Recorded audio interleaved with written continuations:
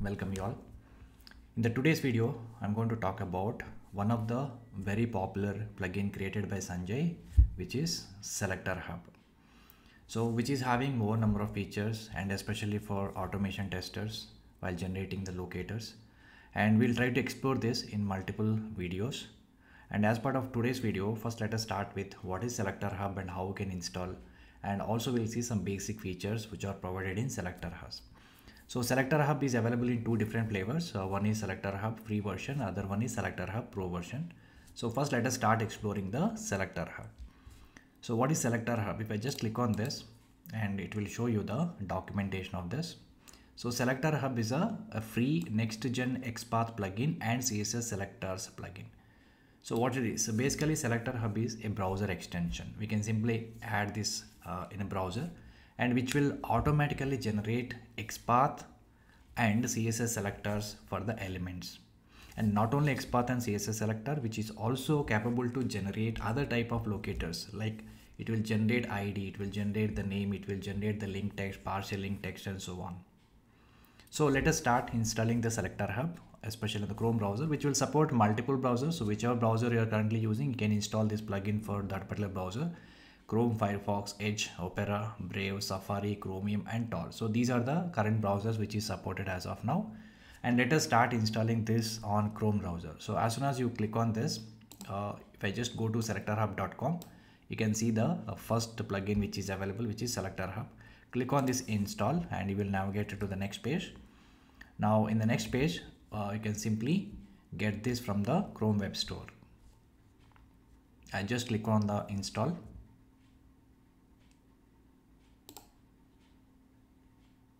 and now it will navigate to the next page. And here on whichever browser you want to install just click on this install button. Now it will navigate it to the chrome web store. So here i'm just adding this to my browser. You can simply say you can just click on the add to chrome. Now you can say add extension. And once you have done it now your selector hub is added to your chrome browser. You can simply close everything so once you install it, better to restart your browser like this and then go to this uh, plugin manager and you can see selector hub. You can simply pin it, then you're able to see the icon. And as soon as we have the selector hub, if you want to use it, at least you have to open the application. The URL should be open. So let me try to uh, open an application. Let's say I'm trying to open uh, Ranjit application now, as soon as you open the web page, you can start using the selector hub. There are many ways to use selector hub. Simply what you can do is you can just right click on the page and you can see this option called selector hub. And here you can see some of the options, copy relative XPath, copy relative CSS selector, copy JS path, testRigor path, absurd XPath and so on. And uh, if I just uh, press F12 from your keyboard, you can see the dev tools so here this is a basically DOM uh, HTML of this particular page and whatever elements you can see on the web page every element is having a specific tag which is available in this DOM document object model. And in another side you can see uh, one window styles computed layout event listeners and so on and you can see the selector hub as an option. Sometimes you may not be able to see like this then you can see you can just click on this uh, more option and then you can see the selector hub. So now this is a, a UI of selector hub. You can see so many options are available here. These are all the locators which are generated by the selector hub. So first of all, let us see how it is going to generate, auto generate uh, the locators, not only XPath and CSS, which is also capable to generate other type of locators. Now let us see how many ways uh, we can generate the locators by using selector hub. So let me show you the first option. We can simply uh, as soon as you open this window and if you are not able to see this window as soon as you open the application just press F12 which will automatically open the DevTools uh, windows. So in this uh, what you can do the first option you can say whichever element you want to find the XPath or CSS whatever locators you can simply right click on the element. For example this is a logo I can see so I'm just right clicking on logo and simply say inspect and if you say inspect now what happens is on the DOM exactly whichever tag is pointing to this uh, element or image which is highlighted and if I just go to selector hub here you can see automatically all the locators have been generated for this image element. Relative css selector relative xpath index xpath testRigor path jquery and many more. It is generated automatically.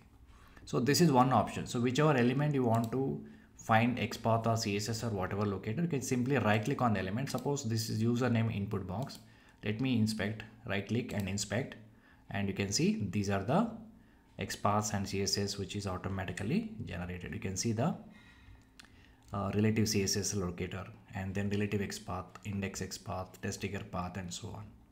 So this will automatically generated by the selector hub as soon as you right click and inspect. Similarly, let us try to inspect this login. You can say right click, inspect.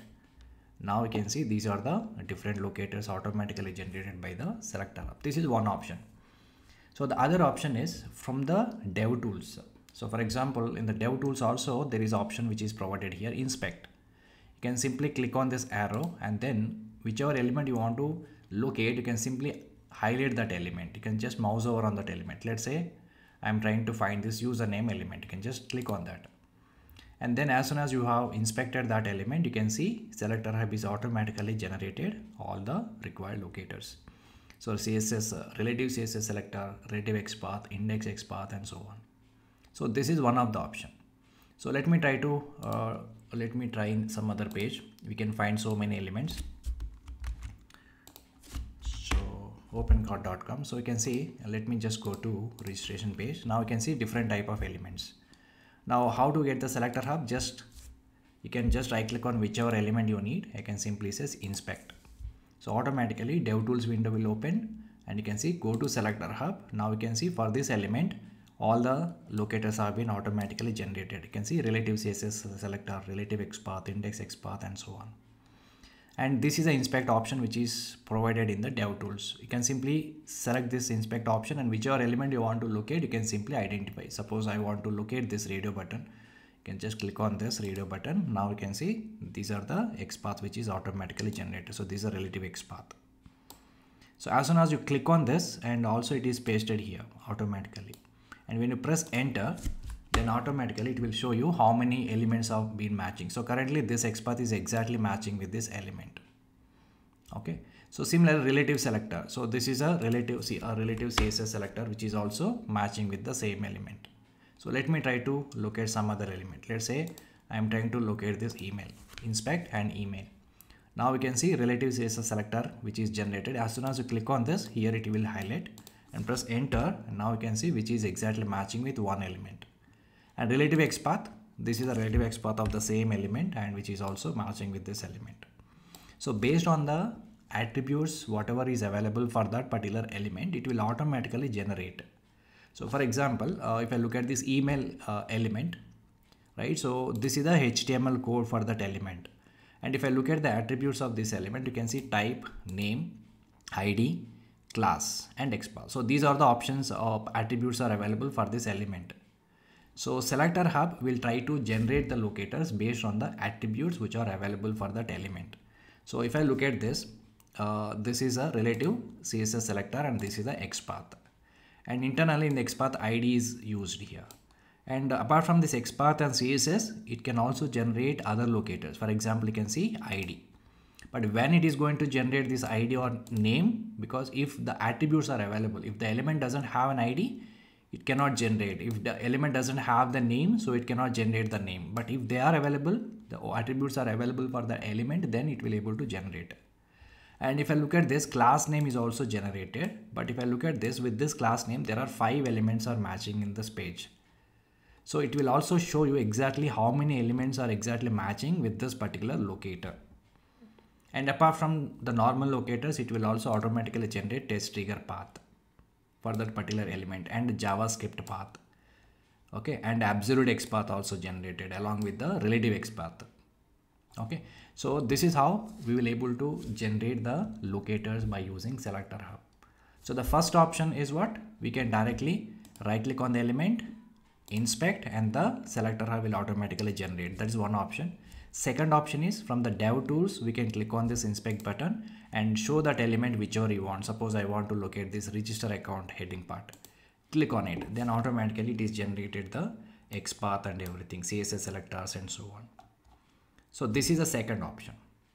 And there is one more option is also there. In the HTML, for example, I just want to locate this logo.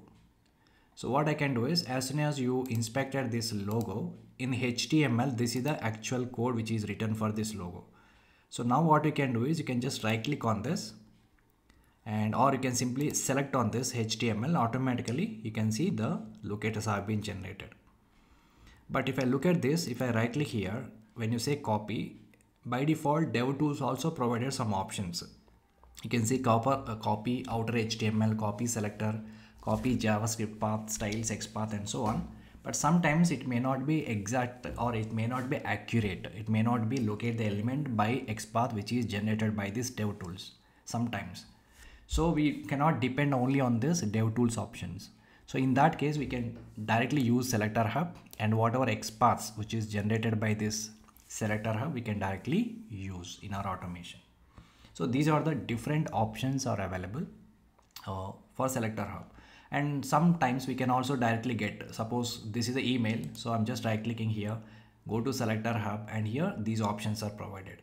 So instead of using this DevTop or DevTools option, you can simply say copy. These are the options which is showing for DevTools, right? Instead of using these options, you can use selector hub like this. You can just right click on the element, go to selector hub and you can use these options to capture the XPath and everything, relative XPath, relative CSS selector and so on.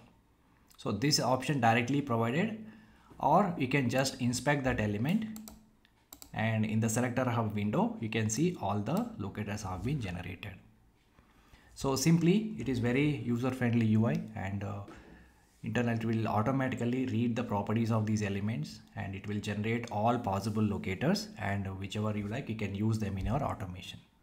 So this is a, a basic uh, usage of uh, selector hub in the upcoming videos we will explore uh, what are the other features are available in the selector hub like how we can identify the iframes, how we can identify the SVG elements, how we can identify the uh, shadow DOM elements. There are so many advanced features are available in the selector hub. We will try to explore them in the upcoming videos. All right. So that's all for this video. Thanks for watching. We'll see in the next video.